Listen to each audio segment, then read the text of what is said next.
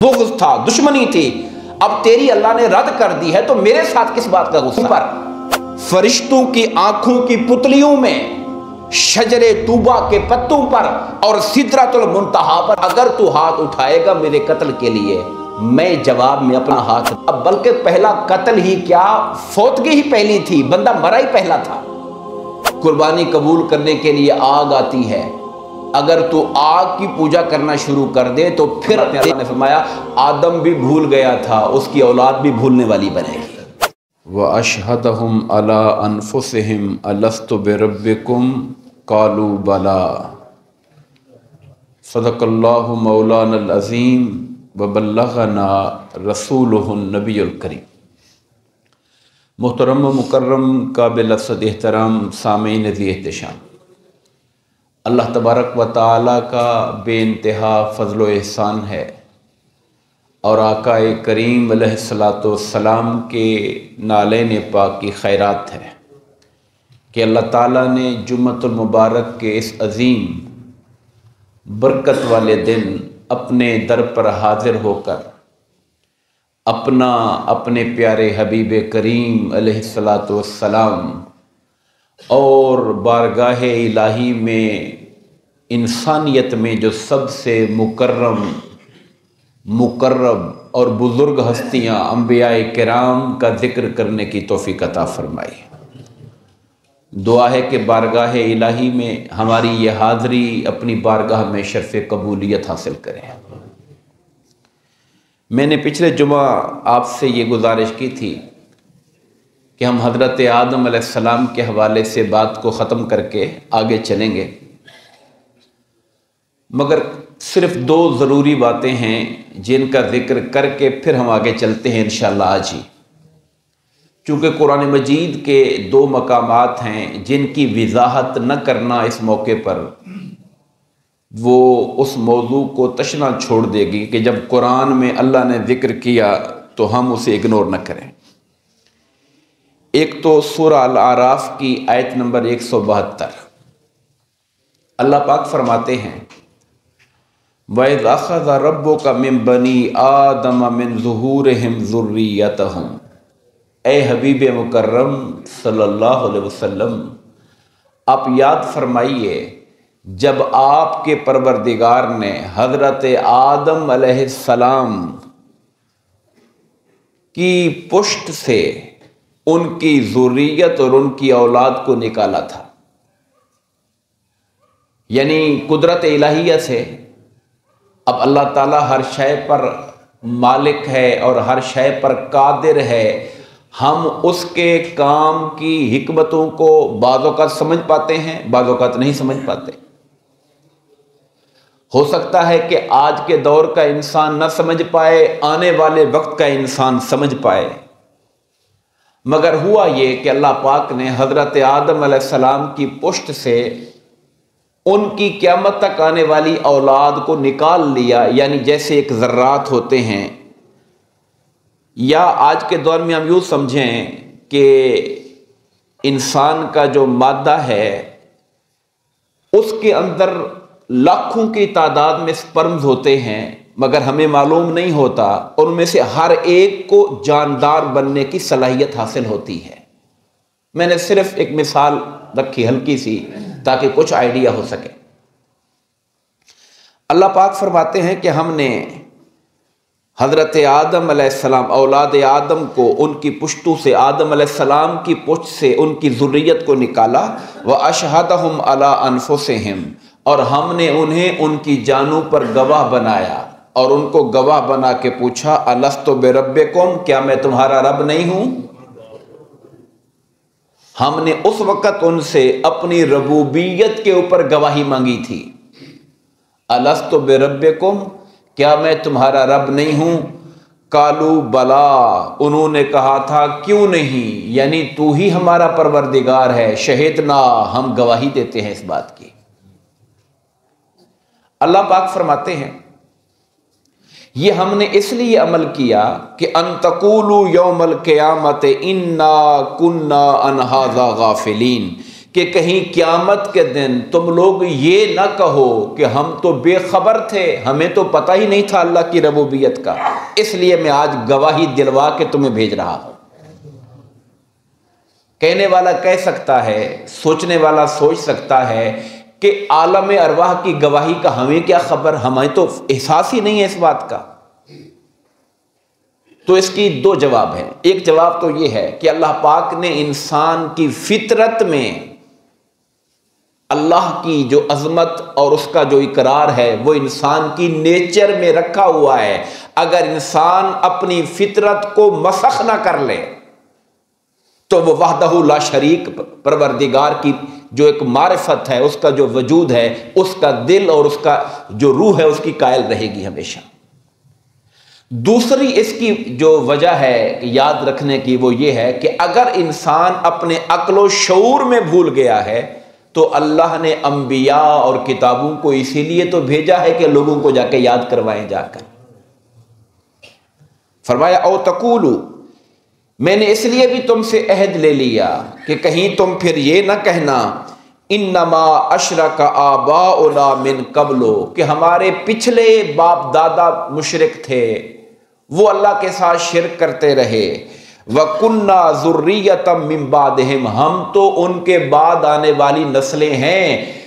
पीछे साल हा साल, सैकड़ों साल से बाप दादा बुतों की पूजा करते आ रहे थे तो हम भी उनके पीछे चलते रहे। नहीं, ये जवाब तुम नहीं दे सकते। हमने तुम्हारी रूह और फितरत में अपनी वहदानियत और रबूबियत का इकरार रखा हुआ है तुम्हारे अंदर, जिसे पैगंबरों की तालीमत और फिर नबी आखिरज़मा सल्लल्लाहु अलैहि वसल्लम के बाद उनकी उम्मत के ओलमा सोलहा और अहले इल्म जो हैं, वो पैगाम क्यामत तक देते रहेंगे और शूर की आवाज़ को जगाते रहेंगे।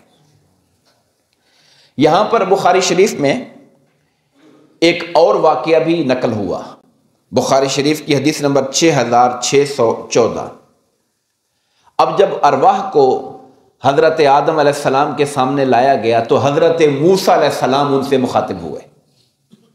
अब ये भी अल्लाह की शान है और हमारे आका करीम सलाम को अल्लाह पाक ने किस कदर वसी इल्मता फरमाया हुआ है कि आलम अरवाह में किसने हज़रत आदम से क्या बात की थी, मेरे आका ये भी जानते हैं। उन्होंने हज़रत आदम सलाम से कहा कि अय आदम, हमारे बाबा, अल्लाह ने आपको जन्नत में रखा था। अब आप फल ना खाते तो हम दुनिया की तकलीफ़ें तो बर्दाश्त ना ना करते।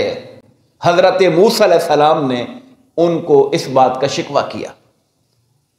तो हज़रत आदम सलाम ने कहा अय मूसा, तुम मुझसे उस बात के बारे में बहस कर रहे हो दलील दे रहे हो, जिस बात को अल्लाह ताला मेरे पैदा करने से भी पहले मेरे मुकद्दर में लिख चुका था।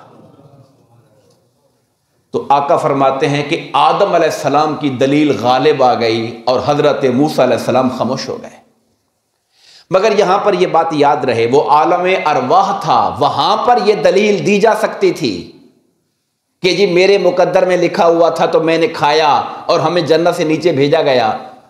मगर आज दुनिया में कोई आदमी यह दलील नहीं दे सकता। इसलिए कि हमें अपने मुकद्दर का नहीं पता, वो पैगंबर थे, उन्हें मुकद्दर दिखा दिया होगा तकदीर। लोहे महफूज पे उनकी निगाह होगी, मगर हम तकदीर को देखने वाले नहीं हैं। हम अल्लाह की किताब और आका की सुन्नत में, हुक्म खुदा और मुस्तफ़ा को पढ़ने वाले हैं। अलामा ने इसलिए कहा था, तकदीर के पाबंद हैं नबातात व जमादात।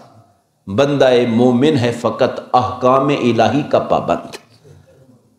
हम तकदीर का उज़र, तकदीर का हवाला नहीं दे सकते, क्योंकि हमने तकदीर को देखा ही नहीं है।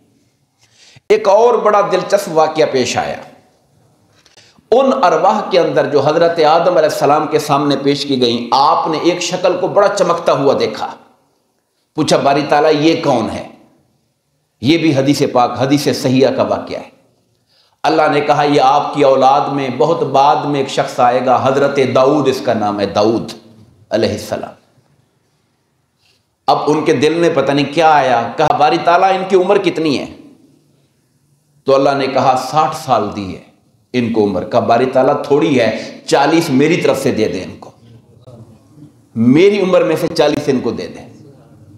तो अल्लाह पाक ने उनकी बात को मान लिया, चालीस उनको दे दी। अब हज़रत आदम सलाम की उम्र, अगर अल्लाह के इल्म में हज़ार साल थी और हज़रत आदम सलाम पैगंबर थे, उनको इल्म था, मेरी उम्र क्या है? जब उनके पास मलाकुल मौत, चालीस साल पहले आ गया कि जी आपकी मौत का वक्त आ गया। उन्होंने कहा, नहीं, मेरे तो अभी चालीस साल रहते हैं। मेरे तो अभी चालीस साल रहते हैं। उन्होंने कहा, जी, वो आपने अपने बेटे हज़रत दाऊद सलाम को दे दिए थे। कहा, नहीं नहीं, मुझे याद नहीं आ रहा, मैंने दिए हैं कि नहीं दिए हैं। आका फरमाते हैं, अल्लाह ने फरमाया, आदम भी भूल गया था, उसकी औलाद भी भूलने वाली बनेगी। ये जो भूल है, ये भी औलाद आदम की सरिश्त के अंदर है। और हमारे आका करीम सलाम की कर्म नवाजी से मेरे आका फरमाते हैं, रुफ़ आन उम्मती अलखताओ व निसियानो व मस्तो क्रह तुम इलही ओ कमाकाल तो मैं मेरी उम्मत से गलती, भूल चूक और जिस काम पे मजबूर कर दिए जाएँ, अल्लाह ने वो सारी चीज़ें माफ़ फरमा दी है।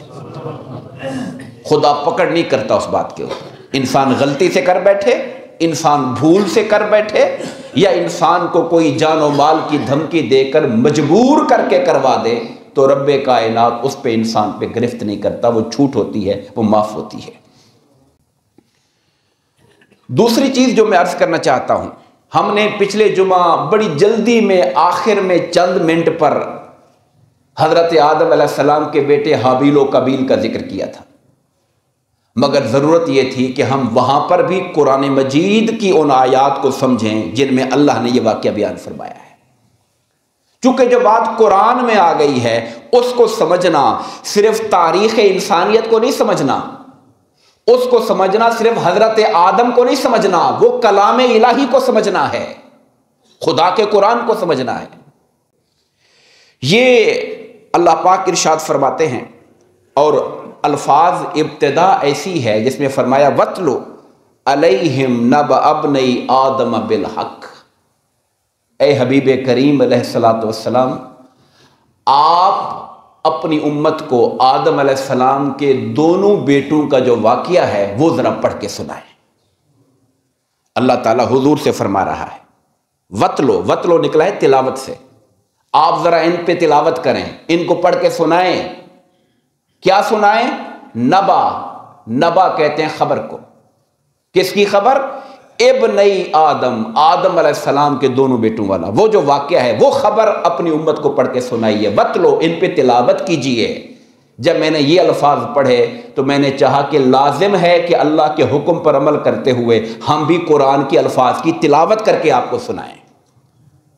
ताकि जो हुक्म कुरानी है, उस पर सही तौर पर अमल हो सके। फरमाया इस कर्रबा कुर्बानन फतुकुबेला मिन आहदहिमा वलम यो तकबल मिन अल आखिर. मैं पहले आयात का तर्जमा करता हूँ, फिर हम इसकी वजाहत में चलेंगे। मैं इस कर्रबा कुर्बान जब दोनों ने अल्लाह की बारगाह में कुर्बानी पेश की। आपको लफ्ज समझ आ रहे हैं? कुर्बानन इस कर्रबा कुर्बानन, जब दोनों ने अल्लाह की बारगाह में कुर्बानी पेश की।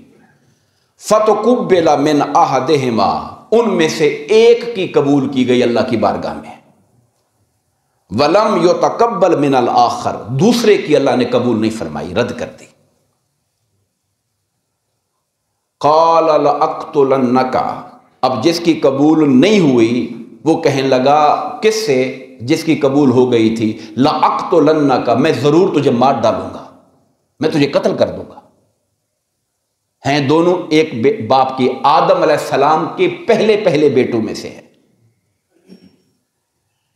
और उन्होंने जवाब में कहा, काला, वो जिनको धमकी दी थी, नाम उनके कुतुब शेयर के अंदर हाबील और कबील आए हैं। ये कुरान में नाम नहीं आया, हाबील, कबील। ये कुतुब के अंदर है अल्लाह ने कहा, आदम के दो बेटे। अब उनके नाम बाइबल के अंदर मजकूर हुए या तारीख के अंदर मजकूर हुए। अब जो जिनको जो धमकी देने वाला है कत्ल की, वो है काबिल। और जिसको धमकी दी जा रही है, वो है हाबील। अब जब काबिल की कुर्बानी कबूल नहीं हुई और रद्द हो गई तो रंज में, गुस्से में, हसद में आके कहता है, मैं तुझे मार डालूँगा। उन्होंने जवाब में कहा, यार, इसमें तेरी कुर्बानी कबूल नहीं हुई तो मेरा क्या कसूर है? इन नमा मिनल मुत्तकीन. अल्लाह तो कुर्बानी उन्हीं की कबूल करता है जो तकवा वाले होते हैं। अल्लाह मुत्तकीन की चीज़ें कबूल करता है। तेरे अंदर अकड़ थी, हसद था, अनाथ था, बुग्ज था, दुश्मनी थी। अब तेरी अल्लाह ने रद्द कर दी है तो मेरे साथ किस बात का गुस्सा है? अल्लाह ताला मुत्तकीन की कुर्बानी कबूल करता है। लम बसत्ता इलैया यदा कल तख्तोलानी अगर तूने अपना हाथ बढ़ाया मेरी तरफ़ मुझे मारने के लिए, मा अना बेबासिन यदि या इलई कल अकतोला का मैं अपना हाथ तुझे मारने के लिए नहीं उठाऊँगा। आप किरदार देखें भाई का। अच्छा उम्र में काबिल बड़ा है, पहले पैदा हुआ है, हाबील उससे छोटा है। और सीरत निगारों ने लिखा कि हाबील तगड़ा भी था जान में भी मज़बूत था। अगर वो लड़ पड़ता तो बड़े को गिरा लेता। मगर वो मुतकी इंसान था, परहेजगार था, खौफे खुदा रखने वाला था, अल्लाह का डर रखता था। जब उसने धमकी दी कि मैं तुझे मार डालूँगा, पहले समझाया कि ये बात ठीक नहीं है, ये अल्लाह का फैसला है। अल्लाह ने मेरी कबूल कर ली, तेरी कुर्बानी कबूल नहीं की तो इसकी सजा मुझे नहीं बनती है। पहले अकल से बात समझाई। जब वो नहीं माना और अपने इरादे पे अड़ा रहा कि नहीं, मैं तुझे नहीं छोड़ूँगा। तो कहा, अगर तू हाथ उठाएगा मेरे कत्ल के लिए, मैं जवाब में अपना हाथ नहीं उठाऊँगा तुझे मारने के लिए। ये वो किरदार था जो हज़रत उस्मान गनी रज़ी अल्लाह तला ने मदीना में दिया था जब। जब दुश्मन इकट्ठे हो गए, सबाई और वो जो साजिशें करने वालों लोगों ने घर घेर लिया, दो ढाई हज़ार बंदा था। आप चाहते तो फौज बुला के उनको मरवा सकते थे, मगर आपने कहा यह शहर मदीना है, मुस्तफ़ा का शहर है। मैं अपनी जान की खातिर मदीना पे मुसलमानों का खून नहीं बहा सकता हूँ। मर उन वो जो करते हैं, उनको करने दो। तो उस वक़्त जनाब हाबील ने कहा कि अगर आप मेरे ऊपर हाथ उठाओगे मारने के लिए, मैं जवाब में हाथ नहीं उठाऊँगा। क्यों? इन्नी अखाफुल्लाह रब्बल आलमीन। मैं डरता हूँ अल्लाह से, जो परवरदिगार है सब जहानों का। मुझे उसका डर है। इंसान को बुराई से क्या चीज़ रोकती है? अल्लाह का डर रोकता है। कहा, मुझे डर है उस रब का, मैं डरता हूँ उस अल्लाह से, जो सब जहानों का परवरदिगार है। इन्नी उरीदो अंतबू अब इसमी। मैं ये चाहता हूँ कि अगर ये हरकत तूने करनी है तो मैं जवाब में तुझे मारकर गुना अपने सर ना उठाऊं। जो गुना उठाना है, वो तू अपने सर पे उठा।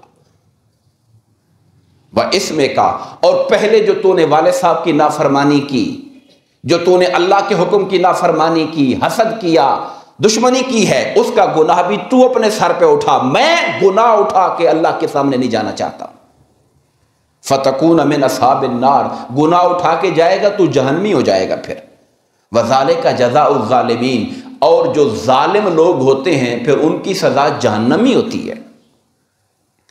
फ़तव अतलहू नफ्सहू कत्ल आखी कुरान कहता है, ये सारी बातें सुनने के बावजूद भी उसका जो नफ्स था, नफ्स अमारा, शर वाला नफ्स, उसने उसे कत्ल पे उभार ही दिया, वो नहीं पीछे हटा।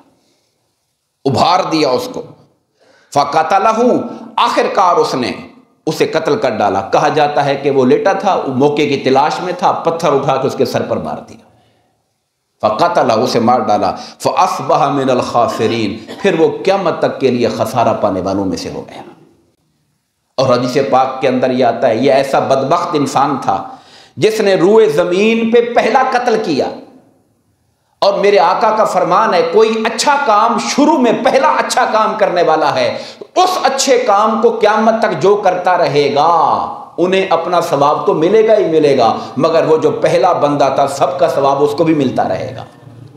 इसी तरह जिसने कोई गुनाह ईजाद किया, नया गंदा गलत काम शुरू किया, अब कोई वो गलत काम करेगा तो शुरू करने वाले के खाते में भी वो गुनाह जाता रहेगा। तो क्यामत तक होने वाले कत्ल का जो गुनाह है, वो भी उसके खाते में जा रहा है। अब जब कत्ल कर बैठा तो पहला कत्ल था इंसान का, उसे पता ही नहीं था अब बल्कि पहला कत्ल ही क्या? फौतगी ही पहली थी। बंदा मरा ही पहला था। उससे पहले किसी की मौत, किसी की तदफीन, ये चीज़ें देखी नहीं थी किसी ने। अब वो परेशान था, मैं क्या करूँ? कैसे छुपाऊं? छुपाऊं कैसे मुआजरे को? मामले को कैसे छुपाऊं? कहते हैं, कई दिन तक लाश लेके दाएँ बाएँ छुपता छुपाता रहा। आखिरकार अल्लाह ताला ने दो कव्वे भेजे। कुरान कहता फबा गुराबन अल्लाह ने कव्वा भेजा। यब हसफिल अर्दे, जो ज़मीन पे ठूँगे मार रहा था और ज़मीन खोद रहा था। ले योरे याहू ताकि अल्लाह दिखाए उस कातिल को। कई फयोआरी सौताखी कि अपने भाई की लाश को कैसे छुपाना है तुमने? ये जानवर कव्वे पिरंदे के ज़रिए अल्लाह ने इंसान को सबक सिखाया। काला, या वही लता अजज तो अकून मिसल हाजल फिर कहने लगा, अफसोस है, यार मैं तो कव्वे से भी गया गुजरा हूँ। कव्वे को पता है कैसे छुपाना है, मुझे छुपाना भी नहीं आता था। ये अल्लाह से शर्मिंदा नहीं हुआ, वैसे अपने ऊपर शर्मिंदा हो रहा है कि यार मुझे बंदे को दफन करना ही नहीं आता था मुझे। फासबह मिन नादमीन, शर्मिंदा हो गया। अगर शर्मिंदा गुनाह के ऊपर अल्लाह के सामने होता तो गुनाह माफ़ हो जाता उसका। मगर वो शर्मिंदा इस पे नहीं था। शर्मिंदा इस पे था, यार मैं इतना गया गुजरा हूँ कि कबई मुझसे मुझे सबक सिखा रहा है आकर। ये दो वाकयात थे जिनका ताल्लुक हज़रत आदम सलाम और उनकी औलाद के साथ था। अब ये जो काबिल था, जब हज़रत आदम सलाम उस वक़्त रिवायात में आता है कि हज के लिए मक्का गए हुए थे, जब पीछे उसने ये वारदात की। अब उसे पता था कि वाले साहब आ गए और मैं पकड़ा गया तो मुझे बर्बाद देंगे वो, सजा देंगे, जो कत्ल की सजा मिलेगी मुझे। तो वो छुपता हुआ वहाँ से निकल गया। अपने वालिद को, ख़ानदान को छोड़कर कहा जाता है, यमन के इलाके की तरफ़ निकल गया और वहाँ पर अलहदा होकर फिर उसकी औलाद और आगे नस्ल उसकी वहाँ पर चली। और यहाँ पर यह भी, इस पर भी ईसाई, यहूदी मुतफिक हैं कि जो काबिल की औलाद थी, वो सारी की सारी तूफ़ान लूह में गर्क हो गई। आगे जो औलाद चली है वो हज़रत शीसम की औलाद चली है। हज़रत आदम के बेटों में से। हाबील तो कत्ल हो गया। काबिल मुजरिम होकर बाद में कुफर करके निकल गया। फिर अल्लाह पाक ने उनको और बेटा दिया, जिनका नाम शीश था। और शीश का माना ही होता है गिफ्ट, यानी अल्लाह की तरफ़ से, जो उस बेटे के बदले में अल्लाह ने तोहफत अता फरमाया था उनको। तो इस पर ईसाई, यहूदी और मुसलमानों का इत्तेफाक है कि जो नस्ल आदम सलाम है, वो चली थी। काबिल की भी औलाद हुई, मगर हज़रत नू सलाम के ज़माने तक। उसके बाद जो इंसानियत है, वो हज़रत शीश की औलाद और आगे हज़रत नूह की औलाद से चली। उसके अलावा आदम सलाम के बेटे काबिल से आगे नस्ल मजीद नहीं चल सकी। और यह भी कहा जाता है कि यह काबिल जब भागा तो शैतान इसके पीछे पड़ा हुआ था। उसने कहा, तू जानता है तेरी कुर्बानी क्यों कबूल नहीं हुई? कुर्बानी कबूल करने के लिए आग आती है। अगर तू आग की पूजा करना शुरू कर दे तो फिर तेरी कुर्बानी कबूल हो जाएगी अल्लाह की बारगाह में। शैतान ने शिरक पे लगा दिया उसको। खुदा से हटा के आग की पूजा करने पे लगा दिया। खैर, हम चलते हैं हज़रत शीस सलाम की तरफ़। जैसा कि मैंने अर्ज़ किया कि जब हाबील सलाम को कत्ल कर दिया गया तो हज़रत आदम और हवा बहुत दुखी थे। औलाद का कत्ल और पहली ज़िंदगी में इस तरह का वाक़ देखना बहुत शदीद तकलीफ़ में और दुख में थे। अल्लाह पाक ने उनका दुख दूर करने के लिए उन्हें एक और बेटा दिया, जिनका नाम शीश रखा गया, और उस ज़माने की ज़ुबान में शीश का माना था, अल्लाह की तरफ़ से दिया गया तोहफा। और ये अल्लाह ने उनको ऐसा बच्चा दिया, जिनके बारे में कहा जाता है कि जो बेन ही तशबी थे हज़रत आदम सलाम की शक्ल के। अपनी ज़ाहरी शक्ल सूरत में मुशाबहत थी इनकी हज़रत आदम सलाम के साथ। और ये आदम सलाम के तीसरे बेटे थे, जो हाबील के कत्ल के पाँच साल बाद पैदा हुए। ये मैं तारीखी बातें कर रहा हूँ। तारीख़ इबन असीर में, अलकामिल के अंदर इबन असीर ने लिखा है। और अलबिदाया व नहाया में अलामा इबन कसीर ने ये बातें लिखी हैं। और इसके अलावा एक मुफक्र मुफसर याकूबी गुजरे हैं। उन्होंने ये तारीखी बातें हैं जो मैं आपके सामने रख रहा हूँ। इसमें न कुरान के अंदर ये चीज़ें आई, न ये अहादीस के अंदर बातें आई हैं। ये कुतुब तारीख से ऊपर जो बातें हमारे सामने आई, वो आपके सामने रख रहा हूँ। हज़रत अब इबन असीर ये कहता है कि हज़रत शीस सलाम अब जिस वक़्त हज़रत आदम सलाम के साथ ये वाक़ हुआ था, कत्ल हबील वाला, उस वक़्त 130 साल आपकी उम्र थी। और अभी तो आपने सात आठ सौ साल ज़िंदगी और गुजारी। तो और भी औलादें पैदा हो गई। लेकिन हज़रत शीस सलाम चूँकि अल्लाह की तरफ़ से अता करदा एक तोहफ़ा थे तो जो मोहब्बत आपको हज़रत शीस के साथ थी, और जो किरदार और जो अखलाक और जो नेकोकारी हज़रत शीस में थी अपनी औलाद में सबसे बढ़कर वो उनके अंदर पाई जाती थी। एक बाप के कई बच्चे होते हैं, मगर हर बच्चा बाप से इतना लगाव नहीं रखता जितना कोई एक बच्चा रखता है। तो शीस सलाम को अपने बाबा आदम सलाम से बहुत लगाव था। आदम सलाम खलवत में होते, तन्हाई में होते, लोग बाहर जाते खेलने कूदने के लिए। हज़रत शीश अपने वालद के साथ हम वक्त रहते थे। उनसे जन्नत की बातें पूछते थे। कि जन्नत में क्या था, कैसे था। वहाँ अभी ताज़ी ताज़ी बातें थी जन्नत से आने वाली। ज़िक्र पूछते थे। और मैं यहाँ पे अर्ज़ करूँगा, हज़रत आदम सलाम ने अपनी वफात से पहले अपनी औलाद पर अल्लाह ने तो नबी बनाया ही बनाया था उनको। हज़रत आदम सलाम ने भी अपना वली अहद, पोलिटिकली उनको मुकर किया। और अपनी औलाद से कहा कि इनकी ताबेदारी करना, इनके हुक्म पे चलना। और हज़रत शीस सलाम को नसीहत की, मेरे बेटे, तुम मेरे बाद मेरे जानशीन हो, तुम तकवा इख्तियार करो। और जब भी अल्लाह का ज़िक्र हो, अब ये मैं जो हवाला दे रहा हूँ, ये याकूबी का हवाला दे रहा हूँ, तारीख का, वो कहते हैं, जब भी अल्लाह का ज़िक्र करो, उनके साथ हज़रत मोहम्मद पे दरूद ज़रूर पढ़ा करो तो सल्लल्लाहु अलैहि वसल्लम। आदम सलाम अपने बेटे हज़रत शीस को, जो उनके बाद दूसरे नबी हैं तीसरे नबी हज़रत इदरीस सलाम है। यानी एक पैगंबर अपनी औलाद को जो पैगंबर बनने जा रही है, ये नसीहत और ये पैगाम दे रहा है कि अल्लाह से डरना, खुदा का खौफ रखना, तकवा इख्तियार करना, अल्लाह का ज़िक्र करना और अल्लाह के ज़िक्र के साथ हज़रत मोहम्मद मुस्तफ़ा का ज़िक्र ज़रूर करते रहना। फरमाते, चूँकि मैंने उनके नाम को अर्श के पाए पे लिखा हुआ देखा था जब अभी मैं रूह और मट्टी की हालत के दरमियान पैदा हो रहा था, फिर मैंने तमाम आसमानों का चक्कर लगाया था। मैंने उस हस्ती की शान का ये आलम देखा था कि आपको, अल्लाह को हुजूर का नाम इतना प्यारा है कि मैंने आसमान में कोई जगह ऐसी नहीं देखी जहाँ नाम मोहम्मद को लिखा हुआ ना देखा हो मैंने। मेरे रब ने मुझे जन्नत में रखा तो मैंने जन्नत में कोई महल कोई बाला खाना कोई ऐसा दरीचा नहीं देखा जिस पर इसमें मोहम्मद को लिखा हुआ ना देखा हो। फिर कहते हैं मेरे बेटे, मैंने नाम मोहम्मद सल्लल्लाहु अलैहि वसल्लम को हूरों के सीनों पर, फरिश्तों की आँखों की पुतलियों में, शजरे तूबा के पत्तों पर और सिदरतुल मुंतहा पर भी लिखा हुआ देखा है मैंने। तुम भी कसरत के साथ उनका ज़िक्र करना, मैंने फरिश्तों को सुना, वो भी उन पर दरूद पढ़ा करते थे।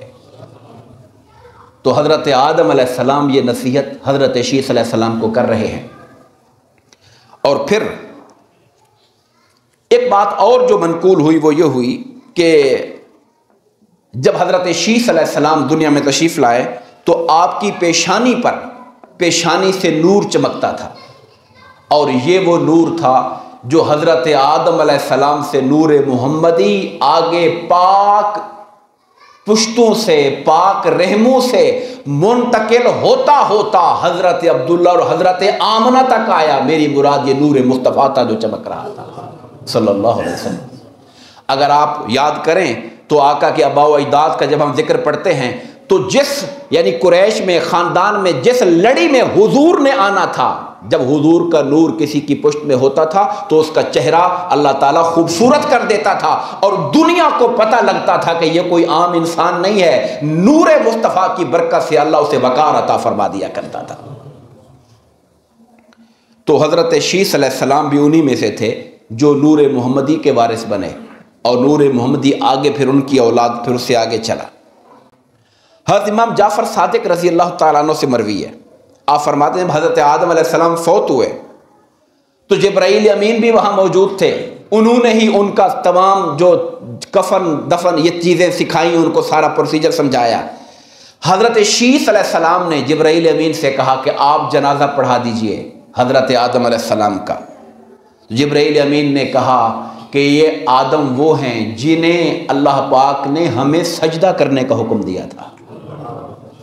हमें हुक्म था कि सजदा करो आदम को, ये वो आदम है। और उनकी नेक औलाद के होते हुए हम उनका जनाजा नहीं पढ़ा सकते हैं। उनकी नेक औलाद में सबसे बढ़कर दर्जा अल्लाह ने आपको अता फरमाया हुआ है, इसलिए जनाजा उनका आप पढ़ाएँगे। तो हज़रत शीस सलाम ने ही अपने बाबा आदम सलाम का जनाजा भी पढ़ाया था। और याकूबी ने यह भी बयान किया कि जब हज़रत आदम सलाम की वफ़ात का वक्त आया, उन्होंने अपने बेटों को अपने पास बुलाया। उनके लिए दुआएँ की। जैसे एक बाप, दम रुखसत, अपनी औलाद के लिए दुआ गो होता है। आपने उनके लिए दुआएँ की और हज़रत शीश को वसीयत की कि, मेरी औलाद में जानशीन तुम हो। अल्लाह का तकवा और खुदा की इबादत इख्तियार करना और काबिल और उसकी औलाद से दूर रहना। इसलिए कि वो शैतान के शर के अंदर गिरफ़्तार हो चुके हैं। यानी जो शरीर लोग हैं, उनके शर से अपने आप को बचा के रहना, अपने आप को दूर रखना। आखिरी बात यह है कि हज़रत शीस सलाम जब फोत हो गए तो आपके मज़ार के बारे में दो तीन रिवायतें हैं। एक बड़ी मशहूर रिवायत यह है कि ये जो हिंदुस्तान है, इसका जो यूपी का सूबा है, यूपी के सूबे में एक ज़िला फैज़ाबाद है, वहाँ पर एक कस्बा है अयोध्या, जहाँ पर एक बड़ा तारीखी ज़िक्र भी हुआ था जिसका, वहाँ पे आपका मज़ार है। एक कौल ये है कि आपका जो मज़ार है वो इराक़ के शहर मूसल में है। और तीसरा कौल ये है कि आपका जो मज़ार है वो शाम का इलाका गज़ा जिसका आजकल ज़िक्र हो रहा है, इन तीनों जगहों पर आपकी कब्रें भी मौजूद हैं। अब अल्लाह बेहतर जानता है कि असल आप कहाँ दफन हैं, मगर तारीख़ी तौर पर ये तीनों रिवायतें मौजूद हैं। दुआ फरमाइए, अल्लाह तबारक व ताली हम सबको सालहीन और अम्बिया के नक्शे कदम पर चलने की तोफ़ी अता फ़रमाए। आमीन बमा अलैना